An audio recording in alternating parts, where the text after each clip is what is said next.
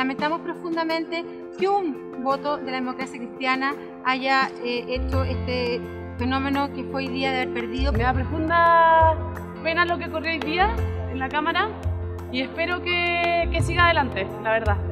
No podemos dejar que esto suceda, no podemos dejar que nos quiten nuestros derechos. ¿Hasta cuándo más víctimas absurdas de una ley no tiene sentido?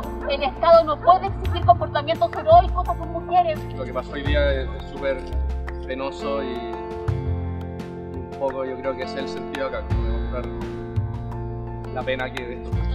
Llamamos a que estén alerta durante toda la próxima semana porque no vamos a dejar que esta ley se caiga producto de los poderes fácticos de la derecha conservadora y los sectores más recalcitrantes